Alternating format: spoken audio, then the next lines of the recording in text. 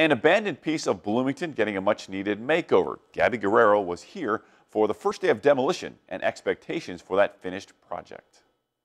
Within the upcoming days, the buildings behind me will no longer be here as Bloomington's west side is coming together to rebuild this entire plaza.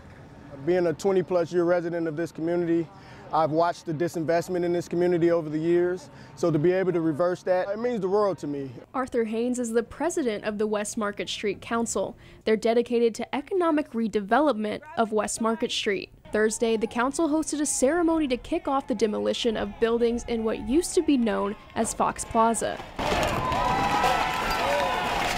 The redeveloped plaza will include a neighborhood grocery store to end the food desert in Bloomington's west side. The findings have been that we, we need access to a grocery store. You know, the food pantries are fine.